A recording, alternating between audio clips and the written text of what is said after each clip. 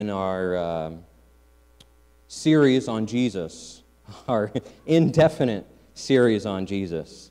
And uh, we're going to be in, uh, in John chapter 1 again. Uh, we're going to touch on a couple other places.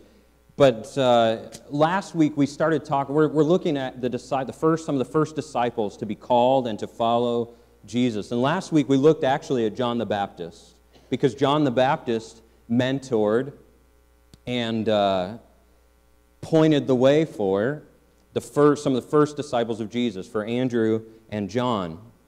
And, and what we said last week is John found himself in a place where he'd spent his whole life learning about the Messiah, Jesus Christ, and then pointing the way to him. And yet it did not necessarily lead him to the place that you might have expected it to go. It, his faithfulness did not necessarily mean everything worked out perfectly in his life, and he found himself in prison after speaking what he thought God wanted him to speak about the truth of the sin in the king's life, and ultimately he'd find himself beheaded. But before that happened, he sent a message to Jesus. He said, Hey, are you the one who was to come, or should I expect someone else? This man who'd given his whole life to Jesus, in a moment of difficulty, had some doubts. He wanted to be sure that he'd invested in the right thing. And so we, we said, stick with Jesus wherever God leads you.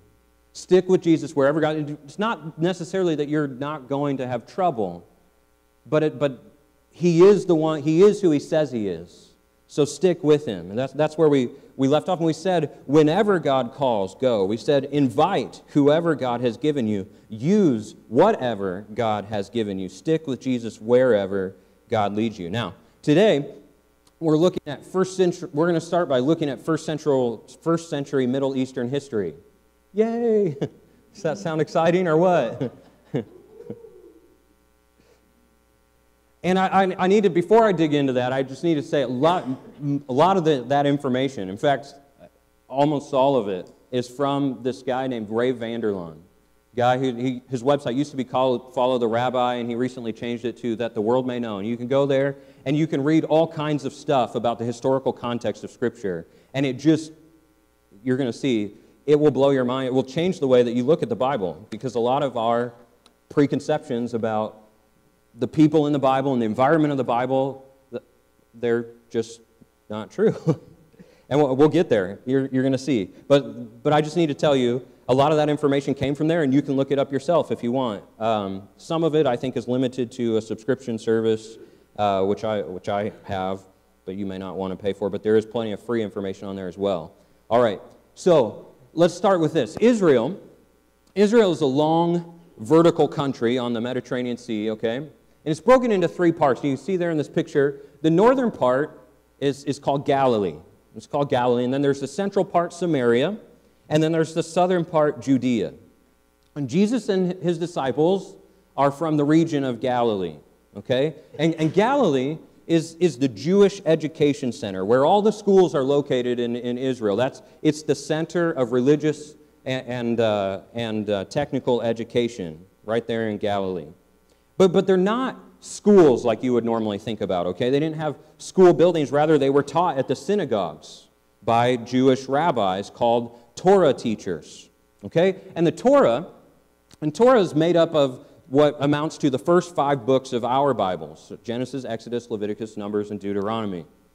Okay, so boys and girls are actually separated in these schools, and they learn two different things. Boys, ages 6 to 12, were taught all kinds of practical skills from the Torah. Okay, they were taught math and history and geography and language, all the technical stuff from the Torah. The Bible was their textbook, okay? And they learned technical skills, but the main goal for boys ages 6 to 12, was to memorize the Torah, word for word. If you have a Bible, take it and just pinch Genesis through Deuteronomy. Consider the size of that text and the number of words there, and then try and imagine being a six, seven, eight year old boy and your teacher saying, You're going to memorize this word for word. Memorize the Torah.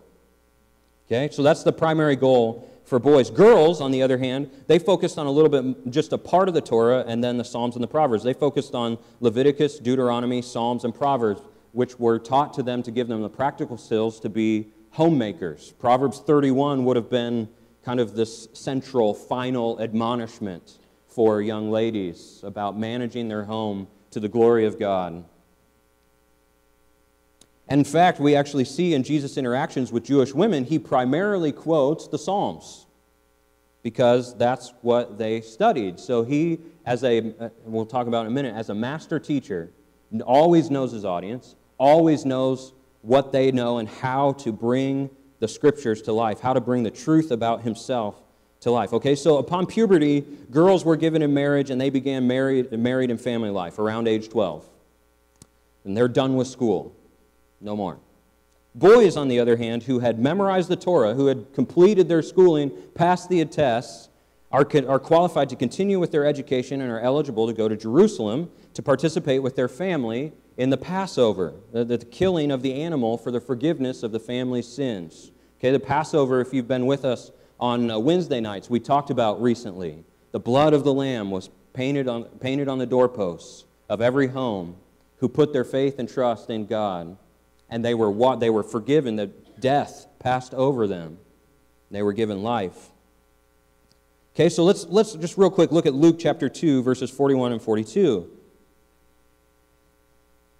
It says in Luke chapter 2 every year his parents, Jesus' parents, went to Jerusalem for the feast of the Passover.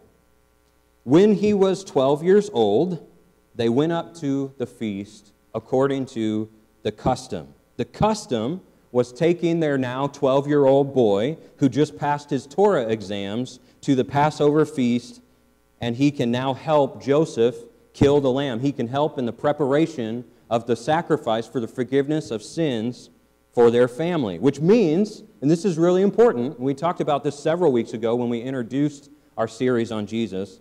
This means that Jesus was just like every other Jewish boy in Galilee.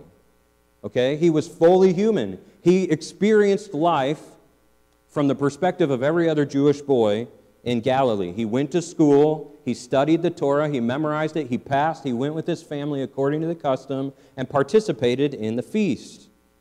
And now he can continue his education. So from age 12 to 15, Jesus and other Jewish boys like him were enrolled in what was called the Beth Midrash.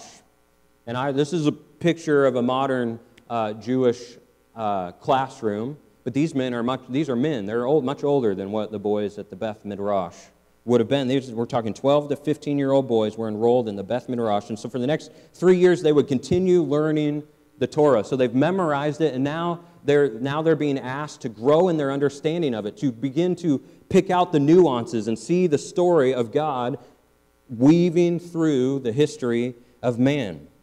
Okay? And, and they would all, now they're going to also start bringing in the other parts of the Hebrew scriptures, the, the prophets and the, the historical books. They're going to start studying these other parts. And in fact, it was going to be expected, if they were going to graduate to the final course of study, they were going to memorize the rest of what amounts to our Old Testament. 12 to 15 years old, they're going to memorize the Old Testament. Squeeze, pinch that part of your Bible and try and imagine that. Okay? They're going to memorize it. And, the, and on top of that, on top of their schooling, okay, they're now, they're not just going to school now because if they don't make it, and we're going to talk about that in a minute, they're going to do something else. And so now they're beginning to apprentice with their dads in the family business. So they go to school, right, and they work on memorizing the entire that's all the Bible there was at that time, right? They're, they're working on memorizing and understanding and knowing the entire Bible at that time. And then they're going home and they're helping dad clean out fish nets or sand off furniture, right? So they're, they're full time, 15 hours a day, 16 hours a day, going to school and working in the family business, being trained. And depending on how they do in the former, will determine where they go next. See, in first century Israel, you didn't go to your school counselor and answer questions like, So, uh, what are you passionate about? You know, what do you imagine yourself doing in 10 years? Anybody, do they still do that? I mean, did, did anybody else do that? You sit down and they ask, what are you going to, what do you imagine yourself doing in 10 years? What's your gifting? Or, or you take a test that says you're a type A or you're an otter, some kind of animal, and based on your personality, here's some careers that might be good for you, right? They, they didn't do that in first century Israel. Israel. The question was, Did you pass school? And if not, what's your dad do? That's what you'll do. If dad was a fisherman, you went to school for half the day, and then the other half of the day you went home and you worked learning to be a fisherman, learning the, the tools of the trade. okay, so, and this is the reason they did that is because at any point in these three years that they're in the Beth Midrash, the Torah teacher could pat you on the head and say, Bless your heart. That's if they were a Southern Torah teacher, right? Bless your heart. You're such you're a sweet guy, really. I mean, you've really I can tell you've really tried. But you know what?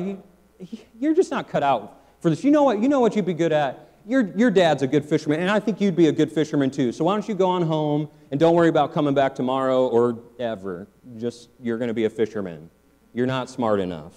You, you can't go on any further. You don't have what it takes. Find a wife, settle down, and learn the family trade.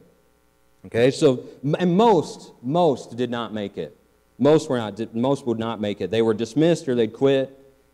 Only a very few, select amount, like one in several thousand, made it through their age 15 education. If they did, the next thing they would apply for is something called the Beth Talmud. The Beth Talmud, where they studied with a master rabbi. And the Jewish term for a master rabbi would be shmiha. I know it looks like shmika, but it's shmiha. Okay?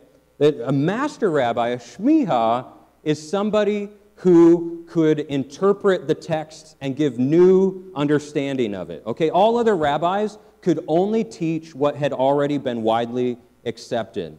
But a shmiha, if you, if you graduate, if you learned the Old Testament, if you were one of this like 1% graduate class, you could find a shmiha, a rabbi with authority, someone who's recognized as a teacher who can give new interpretation of the scriptures, and you would, you would ask to follow him. Okay? And actually, Jesus, in our, in our scripture, uh, wherever Shmiha is used, it just says rabbi with authority. And Jesus, over and over again, amazes the people because not only do they sense that, that he has an ability to interpret the scripture in a new and enlightening way that's true and good for our lives, but there is something even different and beyond about him. And so you'll see these phrases where the crowds were amazed because he taught with authority. That's that idea of shmiha.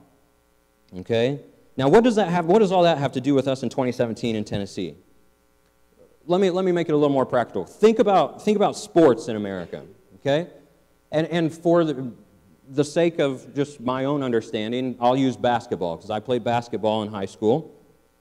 When you're young, your parents, they, they toss an orange ball to you, right? And they, they see if you have any kind of coordination, proficiency at dribbling while walking at the same time.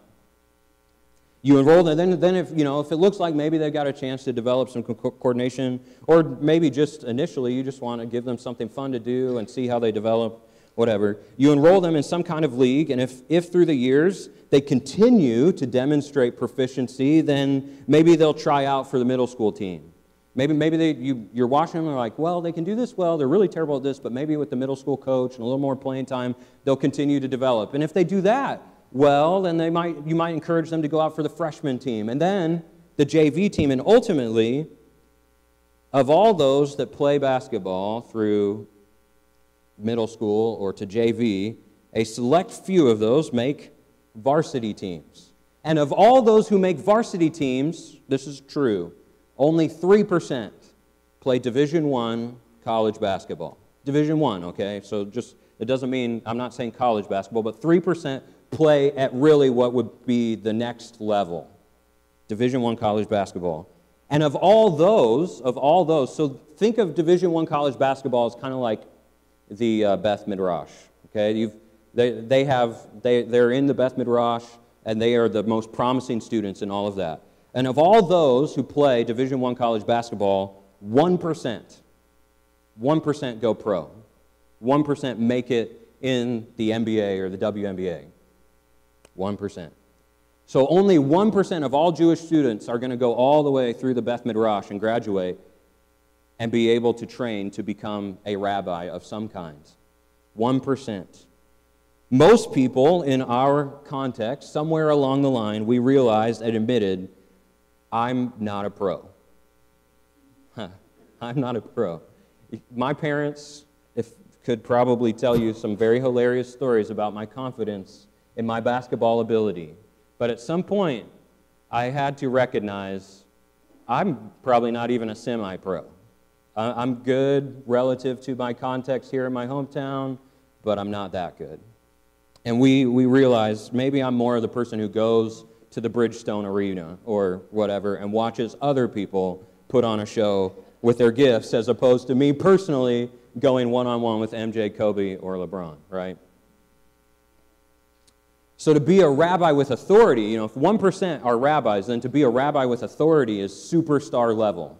We're talking of the elite of the elite. And so those who graduate the Beth Midrash go out and they find one of these shmihas.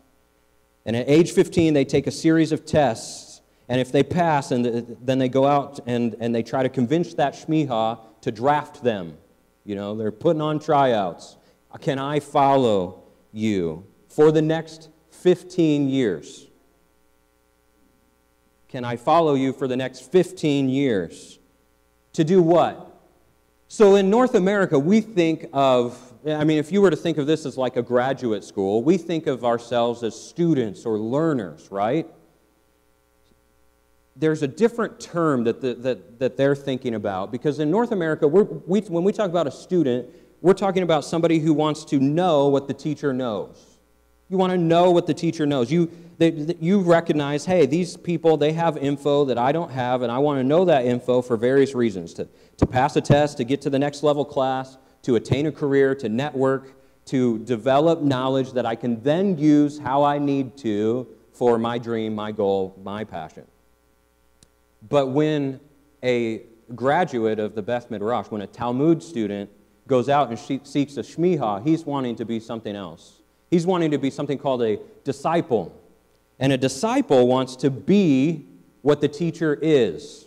This is on your notes if you're following along there on the back. A disciple wants to be what the teacher is. So they go to these teachers and they say, You have info that I want to learn, but that's a small part of a much larger goal that I have. See, I, I want to be like you. I want to be a reflection of you. I want to be a mirror image. Like when people see me, they see you. They see your teaching. They see the way that you live your life. You, they see the way that you apply the scriptures in me. They'd say, oh, it's kind of like, it's kind of like, uh, you know, me and my brothers, depending on who you're with, when, they, when people meet me. When I was, when I was uh, in high school, people would say to David and Michael, oh, you're Stephen's brother, right? Now, my brother's played in an internationally famous rock band, and he's a missionary and he's networked all over the world. So, pretty much now, I'm David's brother. I've been demoted to underneath my younger brother. I'm David's brother. So, that's how in our family, me and Michael are introduced as David's brothers a lot of the time. So, anyway, I'm not bitter about it, it's just a fact of life. That's what it would mean to be a mirror image of your teacher, to be a disciple. Oh, you're so and so's disciple. You're not trying to do your own thing, you're trying to be and do what they, your teacher, are being and doing. A student says, Hey, you, have learned some things, and I, re- I acknowledge that, I respect that, I honor that. You've written some things down, and I want to hear what you have to say. I want to read what you've written down. I, I might even memorize it, internalize it, but I'm going to take all that and I'm going to use it for what I want to do, how I want to do it. A disciple is obsessed with and consumed by the desire to be like their teacher. I want to be you. I'll let go of any and everything. Remember, it's a 15 year commitment to be like you. And so, with that in mind, we're going to look at the exact same verses we looked at last week, and we're going to continue this conversation about discipleship. John 1 37 to 39. And it says, When the two disciples heard him say this, John the Baptist say, Look, the Lamb of God who takes away the sins of the world, they followed Jesus. Turning around, Jesus saw them following and asked, What do you want? They said, Rabbi, where are you staying? Come, he replied, and you will see.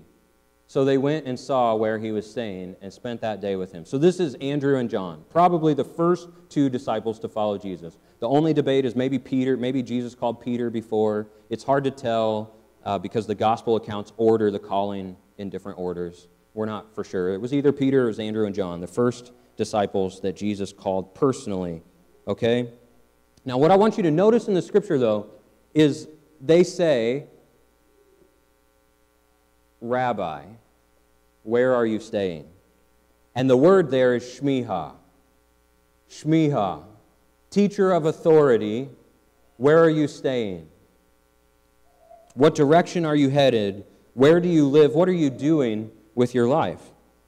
And Jesus' reply is not, this is the really important part. Jesus' reply is not, come and I'll teach you some great stuff. It's not, hey, I've written this book, it's kind of long, but it's really important. Everything in it's really good, and, and I want you to read it. Not all at once, but how about like 15 minutes a day before coffee and breakfast? Sit under a tree, spend 15 minutes reading what I taught you, and then once a week we'll get together in a special building and we'll sing some songs together and we'll get amped up about special causes right before I give you 45 minutes of really intense teaching. And then we'll call that discipleship. That's not in there, right? He says, No. He says, Come and come and see. Come and be with me. Live with me. Watch me. Then you'll see what it means to be my disciple. And that's what these guys are looking for. And that's what Jesus calls them to. They're saying, hey, we don't want to just listen to you. That term, shmiha, where are you staying? Where are you going? What would, what's your yoke? That's something we'll talk about later in the teaching. But every rabbi, shmiha, has a yoke, and that's what they teach. That's what marks their teaching. What's your yoke?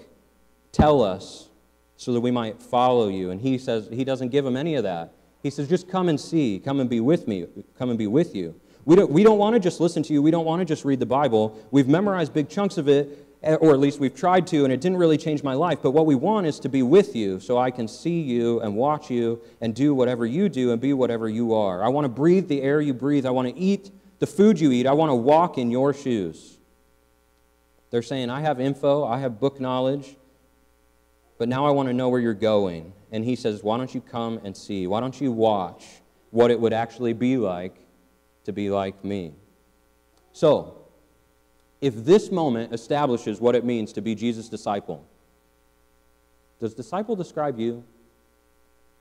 Does disciple describe you? And, and, I put a little verse up here, Jeremiah 20, verse 9, the second half of it. God's word is in my heart like a fire, a fire shut up in my bones. I, I'm weary of holding it in. Indeed, I cannot. Are you consumed by, are you obsessed with the idea of going after Jesus? That's what Jeremiah says here. Does that describe you? I'm consumed with Jesus. I'm consumed by Jesus. My whole world is about knowing Him, being with Him, being like Him. So much so that if someone tried to keep me from Him, or if I tried to hold Him inside, I could not, even if I wanted to. It's, it's spilling out of me. It's a fire seeking oxygen, and I cannot contain it. Even a small breath of what I desire would ignite not only me, but everyone around me with the same fire. I'm bursting at the seams to be with Jesus. If the definition of disciple is about everything I am and everything I am doing, being just like everything that Jesus would do and be in any and every situation, if the definition of disciple is that you've spent so much time with him, I can't, you, you just can't help but to reflect and follow and imitate and every day become more like him, does that describe you? A disciple is someone who has let go of every dream, every plan, every job, every goal to have the one thing that they just have to have, and that is to be where Jesus is at and become like him. Now, listen, you can be a student you can be a believer. You can put all your hope and trust in Jesus. You can be saved and going to heaven. You can be forgiven. God's working in your life. But the question that Jesus is asking us today and always is Will you follow me? Are you my disciple? Will you come and see who I am and what I'm about and allow me to change everything in your life? Not just save you from your sin and send you to heaven, but will you follow me? And ultimately, Ultimately, that'll be the final question. That'll be the final question. And some of you are you're struggling right now. Like, don't you have to be a disciple to be saved? Well, to that I'd ask you, when did the disciples get saved? They believed in Jesus before they were disciples. They messed up over. We can have that conversation later. I think we get fixated a little too much on dates and times, and relationships just don't work that way. Like there is a day that Casey and I got married, but if you were try if you were to try and measure our love by dates and times, you would be sorely mistaken on what love is, right? You could capture me in a certain time and a certain date and be sure that I don't love my wife, right? And if you're judging me, I know you're there too. So if I were to freeze frame a singular moment, it might not reflect your love. Okay, that's all I'm going to say about that for now. You can talk to me later if you're struggling with that. Are you a disciple? Sometimes I'm not a disciple. And what I mean by that is Jesus chose 12 who would watch his life most closely. I mean, he had somewhere around 70 to 100 disciples, people that wanted to follow him. We know that because he sent them out to go do his yoke. But he picked 12 who would follow him most closely, that, that would go everywhere he went. And, and among those 12, there were three who saw literally everything he did and heard everything that he taught and prayed. And those 12 were the ones who would say, I want to do that. I'll go there. We'll try this. 11 of those 12 made it. Right? 11 of those 12 made it. One of them was more of a student and a believer than he was a disciple. He wanted to take everything Jesus taught and did. He believed he was the Messiah, right? But he wanted to take everything Jesus taught and did and everything that Jesus was and use it for what he wanted to do. A, a disciple, Luke 9:23 says if Jesus says a disciple is anyone who would come after me, who would follow me, that person would also deny himself and take up a cross like the one I take up. And he would do that daily to follow me. It's a daily, moment by moment choice to be a disciple. And sometimes I'm not a disciple, I'm more of an arguer. Anybody else like that? I'm more of an arguer. Like when I hear from God in the Bible or through prayer, I argue. He's clear as day, and my response is, Oh, really? That's, that's what you do in this situation? And it, you want me to do that? Hmm. Well, and then the argument starts. Have you thought about this? And what about that? What if this happens? And have you ever tried this? You're welcome for that insight, by the way, God. The argument happens. Are you sure could you, uh, could you get some fleeces wet for me so I can be sure that's what you're telling me to do? That's a reference to Gideon. You can look it up later. Sometimes I'm not a disciple. Sometimes I'm more of an arguer. Here's the thing is I'm a believer. I believe Jesus is my only hope. He's the only way to heaven. I put all my trust in him to, make, to save me from my sin. I know for sure that if I died right now, I'm going to heaven. And I, I can even say, and I'm not saying this to brag, but I'm following Jesus in really big parts of my life. I've made huge sacrifices to follow him. But I'm not yet totally consumed with Jesus. And if you were to watch the disciples, as we will, if you were to watch their lives unfold, you'll see that in the Gospels too. So this is not condemnation, but it's a question, because this is what Jesus is calling you to to be a disciple, to be obsessed with him, to be consumed with him. The disciples left everything to be with Jesus, not just a couple hours on Sunday and maybe a bonus hour on Wednesday or Sunday night with some Bible reading mixed in, maybe. To be, but they left to be with him 24 7 for the next 15 years, I mean, they thought, of their lives. To be like him, they had to be available to go wherever he went, and they had no idea where that might lead, but they left it all and they said, We're with you wherever no turning back. They didn't always do that, but they, made, they first made a decision, okay? They, all the disciples said, We won't run when they come and get you, when they arrest you, and they all ran, right? But they made a decision. We're going to follow you wherever. So it starts with a decision. And we'll talk about what compelled them, but first, I've got a couple of sidebars. I kind of do that, don't I? Sidebars. All right, so parenting, first of all. This is the first sidebar. Parenting is the most important discipleship role we experience in our human lives.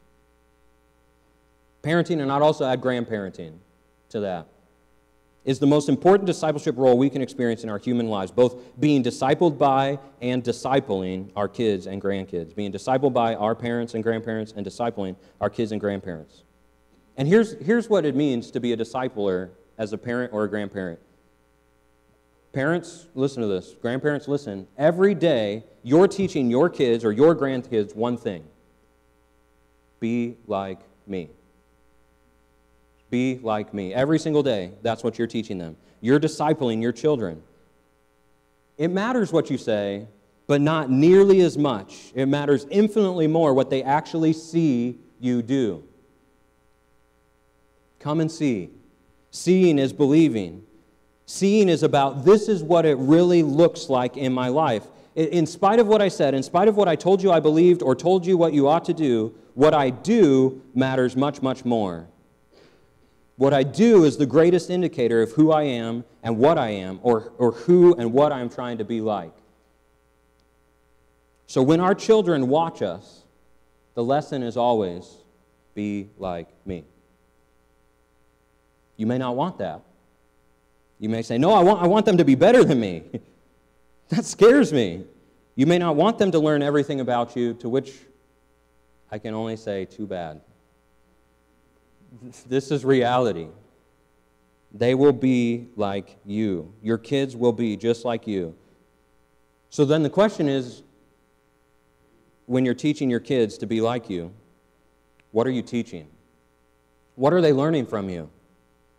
What are they learning about your marriage? Like someday, I want you to treat her or treat him like I treat your mom or your dad. What are you teaching them about godly marriage? What, what are they learning about keeping your promises? I told you I'd be there, but I wasn't. Be like me. What are you teaching them about purity? What are you teaching them about faith in the midst of struggle? When your circumstances aren't ideal, when you're too busy, when you're worn out, what are you teaching them? about what it looks like to follow Jesus. Because no matter what you tell them, what they're internalizing is what you're doing. You're telling them what you really believe and what's really important to you by what you do, not what you say. So, what are you teaching your kids, and does it look anything like what Jesus said is a better way or what Jesus wants us to become? If the answer to any of that is no, and listen, it, you know, you're a great parent in a lot of ways, but there are parts of your life you, you know are not all in with Jesus. So if the answer to any of that is no, what needs to change? And not what needs to change about your belief system. You believe the right things, you believe in Jesus. You go to church some, and you read your Bible and pray together once in a while. It's not your belief system, but it's in the way that you live it out. It's the way you live out what you say you believe. And li- I'm not throwing stones because if I throw one, there's a good chance it's going to ricochet off something and hit me. Okay? I, am not saying you're not a believer. I, am sure if you've put your trust in Jesus that you're saved and you're forgiven and you're going to heaven. I'm not saying that you're a bad parent. We all have good days and bad days. I'm not saying that you're a bad person. I'm just saying your kids will become like you, and if you want them to become like Jesus, what needs to change in your life? So that they will line up with what Jesus wants for them when he says, Follow me. The second thing, the second little sidebar I have, and, and so before I get there, I, I just want to ask um, our students and leaders that went to Nazarene Explosion to stand up real quick. Would you do that? I know, I know, I didn't, I only talked to one of you about this. Sorry if I'm putting you on the spot. Woo! Yeah. So, real quick, I want to highlight something. There's, Nazarene Explosion is opportunity to go and, and worship with a bunch of other teenagers and also to put to use our gifts and talents with the understanding that it's all for the glory of God. Okay? I want to highlight Haley McGregor over here did a whole bunch of art.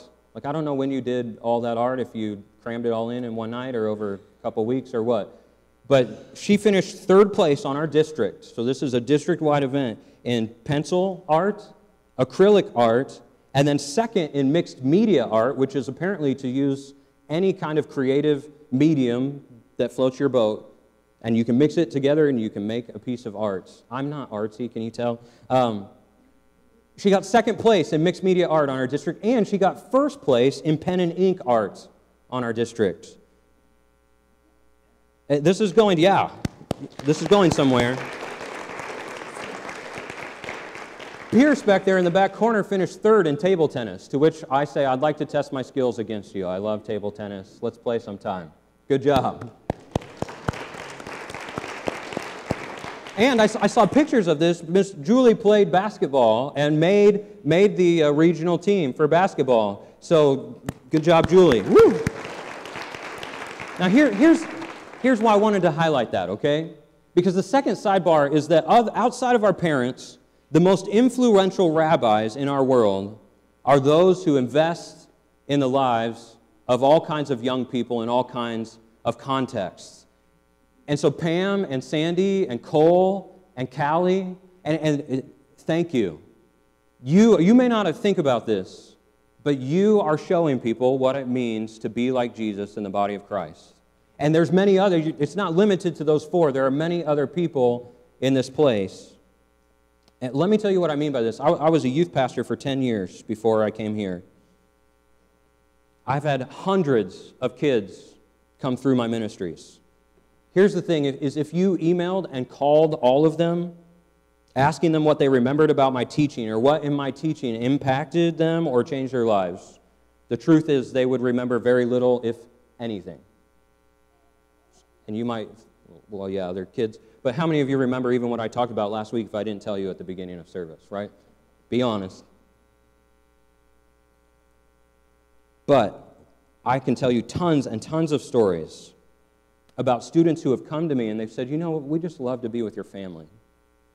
We, we love hanging out with you and Casey. You guys have such a strong marriage. We love seeing the way that you interact with Joel. I'm learning so much about being a parent. I want to be a parent like you someday. I want to be a husband like you someday. I want to be a wife like you, Casey, someday. I could tell you tons of stories, scores of them. Kids, kids who said, I'm so glad that you came into my life, what you taught my dad about being a dad, and the, how you have been kind of an extra dad in my life. Nothing that I've taught from my mouth really stuck with them. I keep up with them on social media, and many of them are carrying with them the values that Casey and I lived. And a couple of them are married now, and one of them even just had a baby boy. And it's so rewarding to watch them, knowing both this, this couple that had a baby boy, neither had the best examples of marriage and parenthood, but they're great spouses and they're good parents, and I didn't teach them that in my sermons. I lived it with them. I lived it with them. So, what I do up here pales in comparison to what you all can do through the week with one another, with kids, with teens, with young adults, with young married couples, young moms who are floundering the same way that you did, trying to maintain friendships, maybe work a job, and raise their kids the way that Jesus wants them to be raised.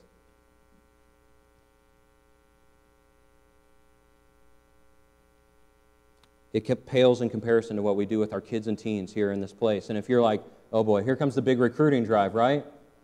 Yes, you're right. Because let me tell you, we do have spots open. We need another Sunday school teacher. We need four more people to work with kids on Sunday mornings, just fifth Sunday. So it's like once a quarter. We need people for our nursery on Wednesday night. So we want to be a place for our community to be able to come and be discipled with one another in small groups or uh, under, under teaching. But we don't even have nursery to offer parents of kids who maybe need it more than anybody else. They just need to be with some people that talk the same language they do, right? Can I get an amen, young moms? You just want to hang out with some adults and, and think about some things other than how am I going to get that poop stain out of my carpet? And I hope they don't have any peanut flavored candy in children's church, right? You'd like to think about something but I'm not just looking for a few spots to be filled. I see I need like 100 people. You might say, Pastor, that's every person in the congregation. I know. I know. Because I don't just need more bodies, I need men and women who would partner with 6, 8, 10, 12, 14, 16, 18, 20 year olds to show them what it looks like to live and say what we believe. And, and I would venture to guess that you're probably going to learn almost as much as you teach what that looks like is just going into, minis- going into a ministry or going to a person and saying, hey, listen, I'm not perfect. I'm going to make mistakes. In fact, I've made mistakes. Maybe you can learn from them. But I want to just know if you want to go get a Coke with me like once a month and talk about what Jesus is doing in our life. Just have some adult conversation and hang out. Let, let me bless you. Let me pay for it even. Because I'm trying to run after, I'm trying to follow Jesus. I'm becoming more and more obsessed with and consumed by becoming like him. And I was just wondering if you'd go with me. Maybe together we could spend time and go after Jesus together and become like him. See, I need as many people as possible to do that with our young people in our church. Look around you. There's, there's young moms, there's young adults, there's, there's teens and kids all over this building, and it, we're only growing in that respect. I need every one of us to take personal ownership, to be rabbis, to be teachers, to walk together, to become like Jesus, to become like our Shmiha. Okay, so why, why these sidebars? Let me circle back around. If the Bible matches the cultural reality of its time, you ready for this? The first disciples of Jesus were around 15 years old when Jesus called them. Did you know that? The first disciples of Jesus were around 15 years old. You don't, we don't usually picture them that way. Jesus recruited 12 high school freshmen and sophomores, and three years later turned over the future of his movement to 11 high school senior boys. Lord have mercy. right? If, if you're laughing or if your mind is blown because you didn't know that, it's because we look at people under 20, and especially now when it's so popular to rag on millennials, right? Please stop doing that. I'll tell you why later, but just stop. Because we look at people under 20, and people under 20 look at themselves in the mirror and they say, I, I'm just a kid. I'm not ready for any of that, for this crazy stuff. But the reality is, if Jesus showed up right now, he's not coming to a big church and asking its staff to go with him. He's not going to a seminary of middle 20s and to 40 year olds and asking them to follow him. He's not going to a high rise office building and asking a bunch of high powered businessmen to get behind his ministry. He's going down the road here to Avery Trace Middle School, and he's walking into the lunchroom, and he's saying, Hey guys, I want to change the world, and I pick you. Who wants to go with me? Come and follow me. Come and watch what that would look like. I want to change the world. I pick you. Some scholars look at John, the guy who wrote the gospel that we looked at today, and later in the book, he refers to himself as John the Beloved. Another way to translate that is John the Adolescent. Some scholars say that John was 10 or 11 years old when he left everything to follow Jesus. That exploding sound that you hear is how you've always read the Bible blowing up. Because Jesus is not walking around with an entourage of old wise men with beards, right? It's more like 30 year old Coach Jesus and a youth baseball team on a road trip passing gas and arguing over who is Coach Jesus' favorite. The future of the church, everyone.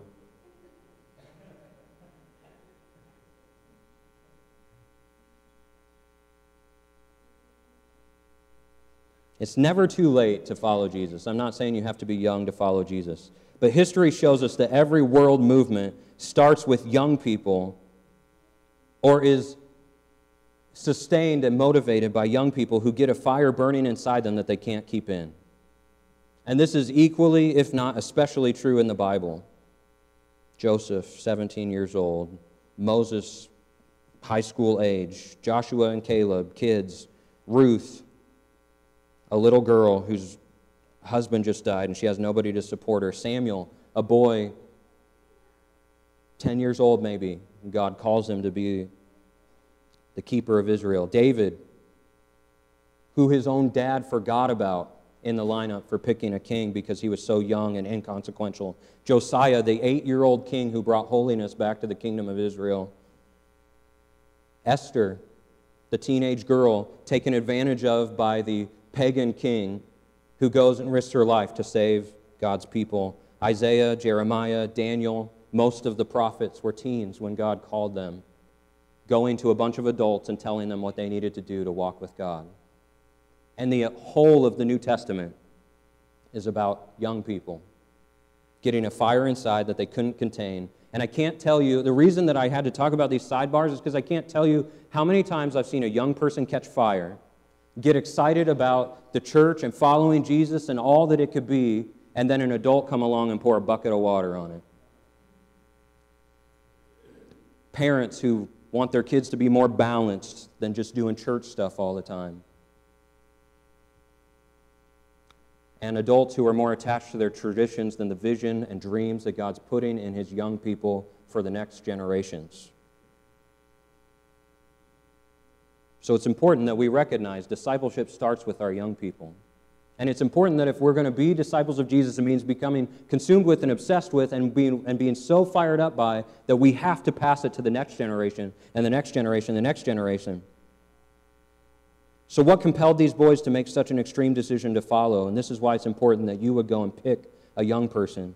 Because normally, if you were good enough and you graduated the Beth Midrash, you go and choose the rabbi that you want to be like. Kind of like picking a college. You're trying to find a good one that matches your interests, a yoke that you agree with, and that you're good enough for. They'll accept you in, right? Jesus was different.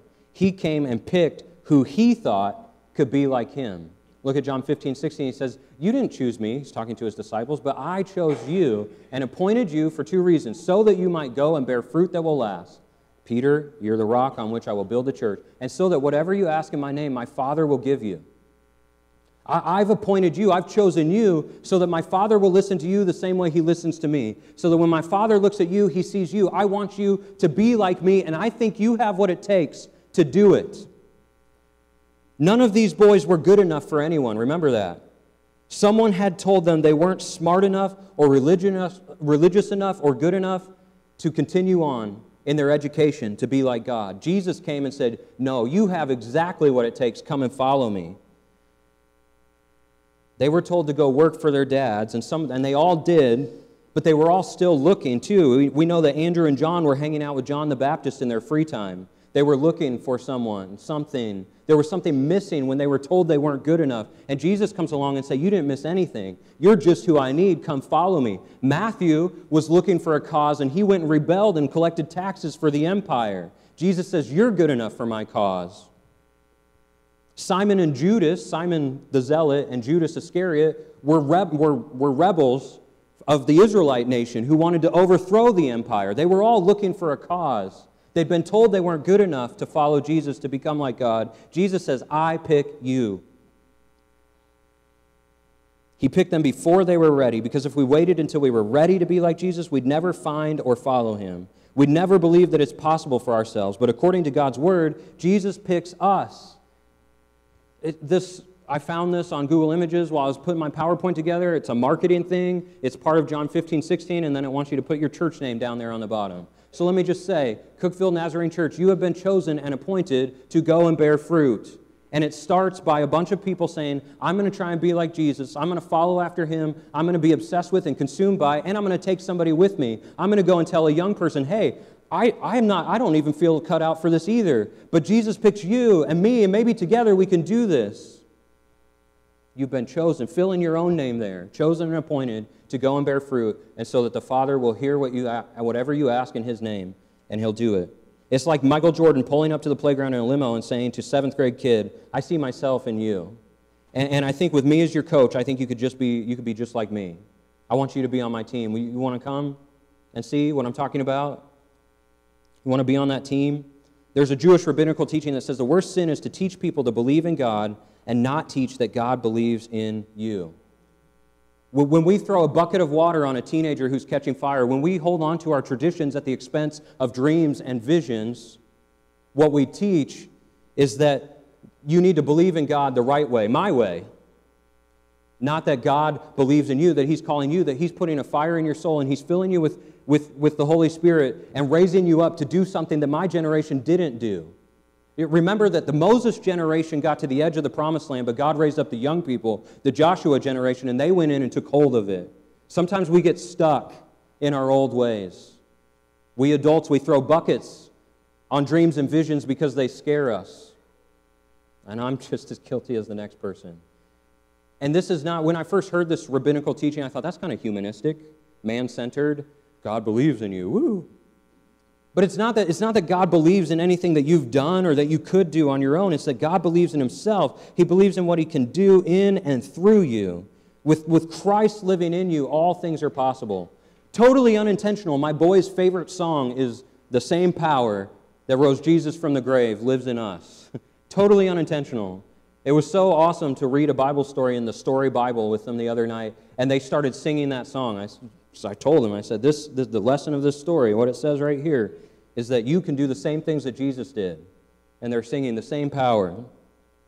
God believes in what He can do in and through you. All things are possible through Christ living in you. He'll give you what you need to believe in God and become like Him. So, if the takeaway from last week is no matter the circumstances, stick with Jesus because He is who He says He is, then the takeaway this week is that it's worth it to stick with Jesus because He's calling you to something better than the lesser, common, everyday plans to follow Him and see what only He can do in and through you. He's daring you to come and see. Jesus is who He says He is, and He wants you to follow Him to a better life. So, young people in this room, listen to me. God is calling you to let go of your ordinary, follow what everyone else in your class is doing lives, and follow Jesus. Wherever it leads, it won't be boring. That, that was one of the biggest hangups for me as a teenager. Well, I can't do that, and I can't do that, and I can't do that. It's going to be boring. But I was so worried about what I was missing out on that I wasn't focusing on what Jesus was calling me to. I missed an opportunity to change the world, that little world at East High School in Sioux City, Iowa.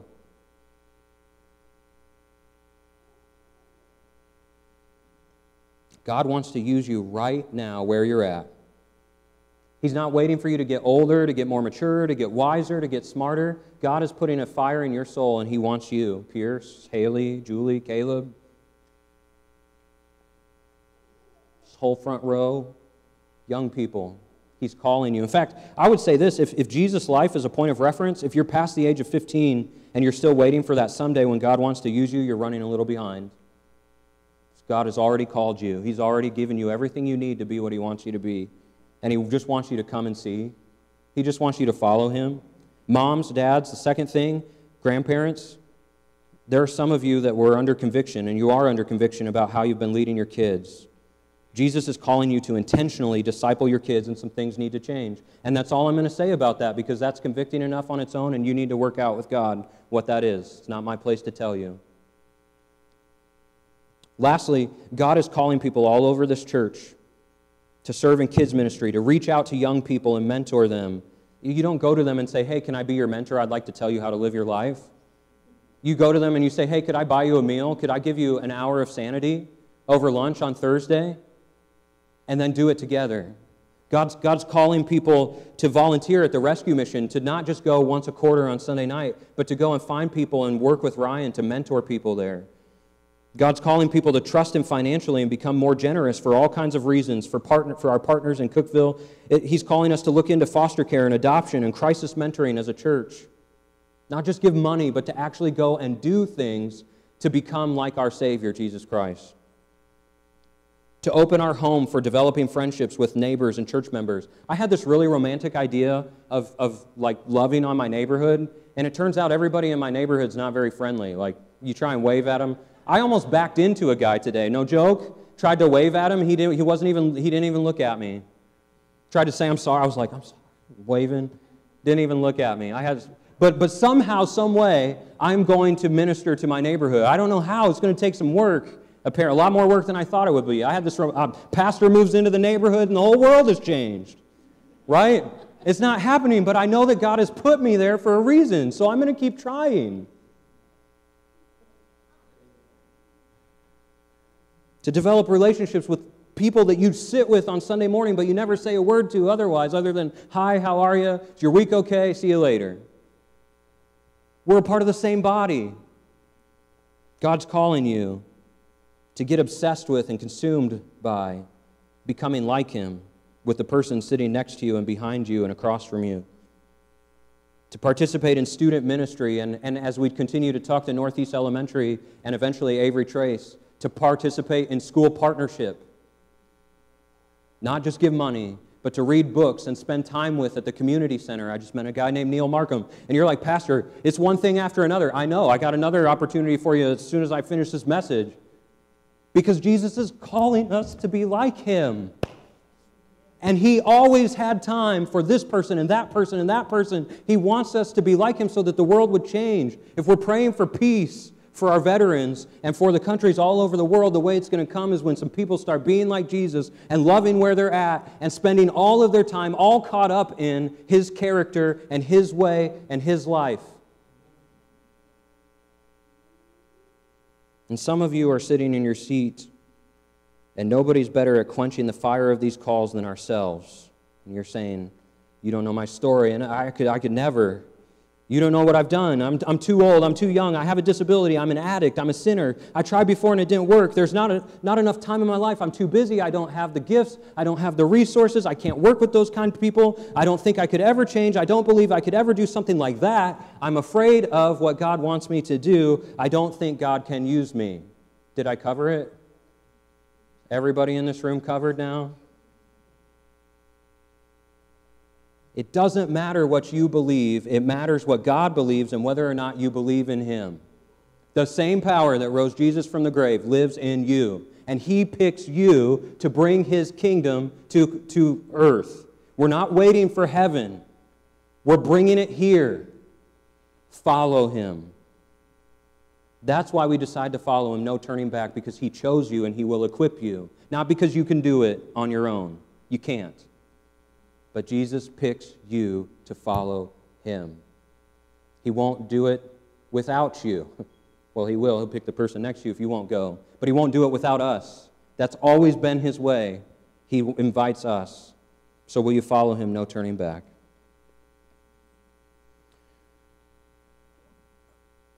Some of you are going to need to pray about this at lunch. And this afternoon, you're going to need to pray about it all week long. Do not leave here without thinking, Am I a disciple? By the definition that Jesus gives, ask yourself that question. And don't feel guilty and weigh yourself down with shame. And, and, and don't let the excuses and the fears and the lies of the enemy trick you into thinking you can't do it. Stand in the light. Let your eyes adjust. And when they do, you'll see that Jesus has picked you and he will lead you and equip you. Follow him. Heavenly Father, we recognize that we can't do any of this on our own, and yet you came into this world and you equipped us and empowered us and gave us everything we need to go and do it and be like you. So, Lord, we ask that you give us faith, not just to believe that you save us from our sin, that you're the one way to heaven, but you're also calling us to be just like you, to go and seek and save the lost, to introduce them to the living Christ, and to take on your character and your way Forgive us for complacency, for arguing, for second guessing, for not believing everything that we say about you.